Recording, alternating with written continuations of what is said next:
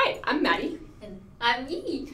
Um, and we are from O'Saurus Studios, and we're gonna have a little chat about some of the art that he's been doing for Call of the Golden Valley. um, so you're not from Australia. Nope. Uh, you're from Malaysia. Yep. Um, country Australia is very different than city Australia. Uh, how how was it recreating country Australia? I know that was a pretty big ask of you. It was very stressful in the beginning and very difficult because I don't really have much experience with like regional Victoria or like regional Australia and not even bothering like going into forests and stuff. Um, but my team, our team, is very helpful. Um, they we, we have a field trip to I think it's Marysville. Yeah. Marysville. and we have like a really nice day in Marysville and then go for a short hike into a forest. That's just a lot of fun and I get to ex- experience like what it's like to be in regional Victoria and to hold lots of photos for reference down the way. Um, so yeah, it's very helpful. What was the thing from that trip that like surprised you the most? Of like, oh, I didn't know they had this here. It's definitely more shock than a surprise, but it's like the liches. Um, I know that there's a possibility of seeing liches in the forest because how humid the forest is, but uh, imagining it and seeing it in real life is just so different, especially So when it, yeah, latches onto like Ben's food or something. it's just creepy. But yeah.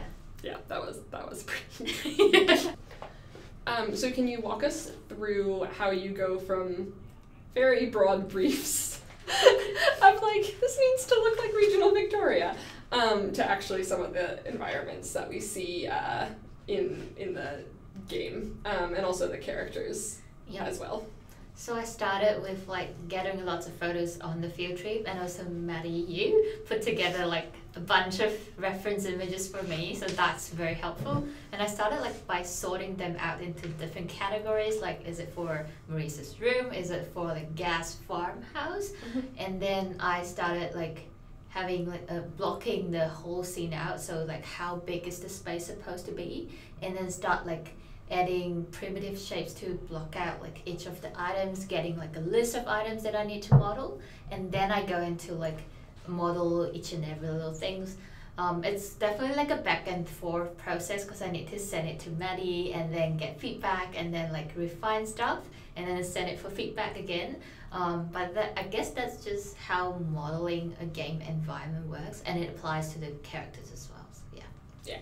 The farmhouse i remember we had so much trouble with that because um, i had sent Yee some reference photos but it's not until you try to recreate something that like you you really have to understand every bit of it and i remember we were having problems with how the roof met the house. yeah.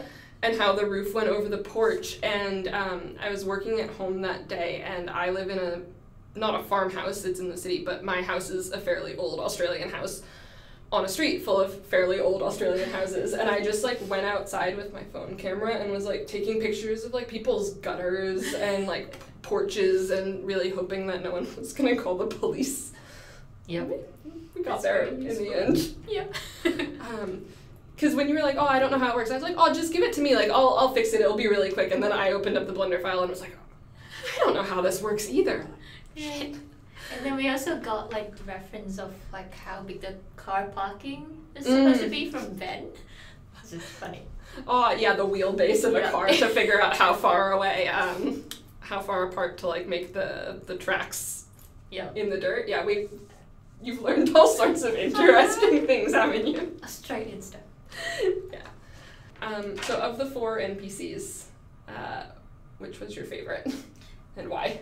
It is Gaz, Yeah. surprisingly, and non surprisingly, because he's the first character that I work on on the, on the project. And I haven't been model a lot of like realistic looking character in a while, so he's kind of like a practice run for me to get back into model like human.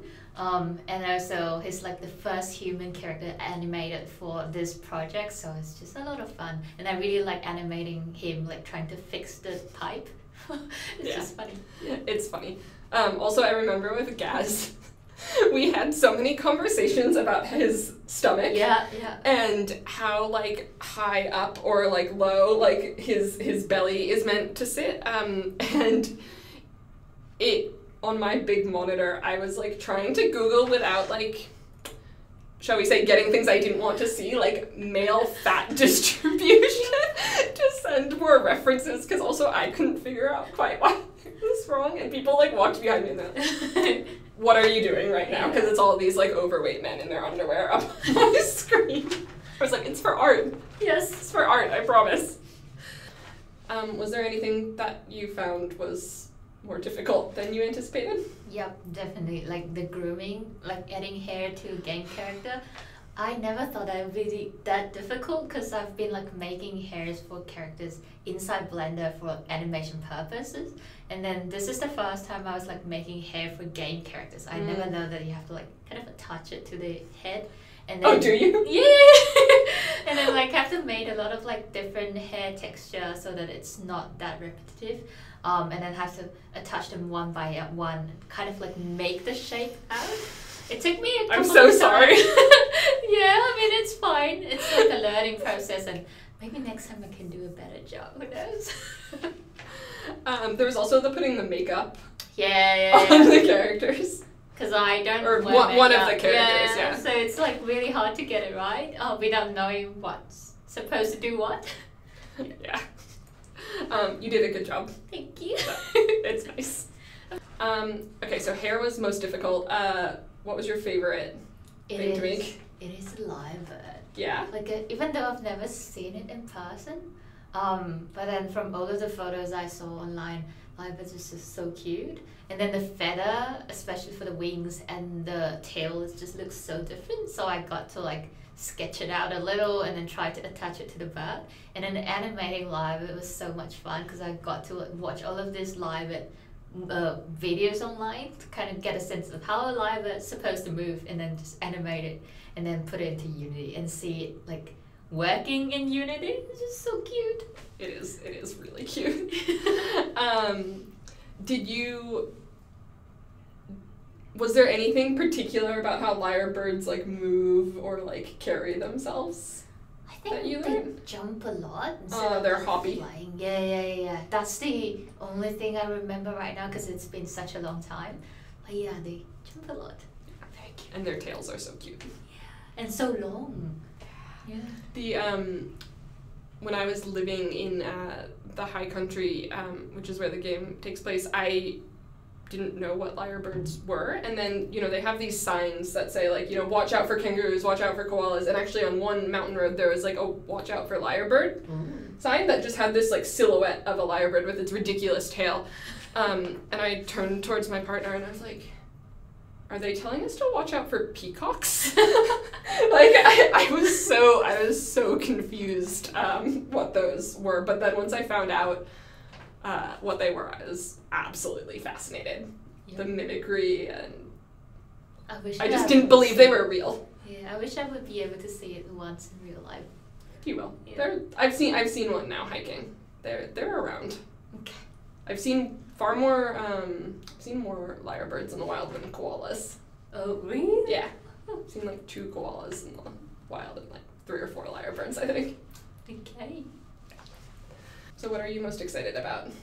It's definitely play it in the end because I haven't gotten to play it just yet. I'm not sure why, but it never works on my computer. Um, We'll set you up.